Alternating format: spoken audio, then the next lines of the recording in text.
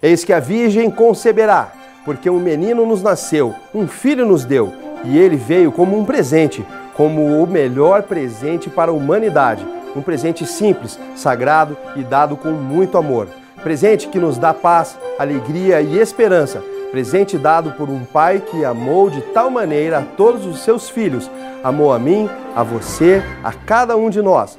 Amou tanto que nos deu o Cristo, que foi criança, carpinteiro, mestre, líder e ainda assim fez o que nenhuma criança, carpinteiro, mestre ou líder jamais poderia fazer, porque diferente de todos, ele é o Salvador. Por isso, temos vida graças a ele, que é o verdadeiro sentido do Natal.